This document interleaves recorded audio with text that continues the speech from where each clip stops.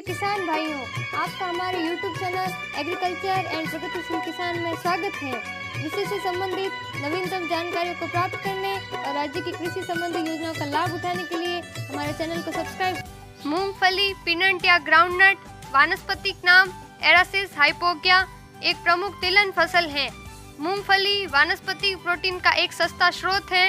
इसमें प्रोटीन की मात्रा मांस की तुलना में 1.3 गुना अंडों से 2.5 गुना एवं फलों से 8 गुना अधिक होती है और इसमें 45 परसेंट वसा या फैट होता है।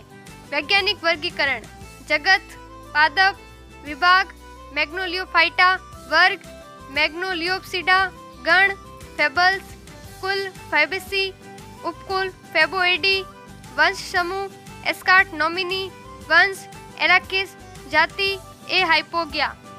मूंगफली वस्तुतः पोषक तत्वों की अप्रतिम खान है। प्रकृति ने भरपूर मात्रा में इसे विभिन्न पोषक तत्वों से सजाया संवारा है। 100 ग्राम कच्ची मूंगफली में एक लीटर दूध के बराबर प्रोटीन होता है।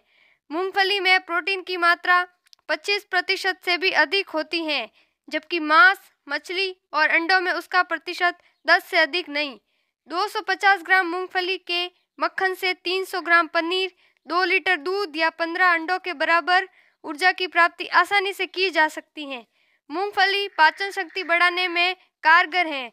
250 ग्राम भुनी मूंगफली में जितनी मात्रा में खनिज और विटामिन पाए जाते हैं, वो 250 ग्राम मांस से भी प्राप्त नहीं हो सकता है। मूंगफली में तेल प्रतिशत मात्रा 45 से 55 प्रतिशत होता है। मूंगफली के उत्पादन के लिए भौगोलिक कारक साधारण तौर पर इसकी बुवाई जून जुलाई माह में करते हैं।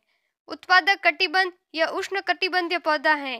तापमान 22 से 25 सेंटीग्रेड, वर्षा 60 से 130 सेंटीमीटर वर्षा उपयुक्त होती है। मिट्टी, हल्की दोमट मिट्टी उत्तम होती है, मिट्टी भर भूरी एवं पोली होनी चाहिए।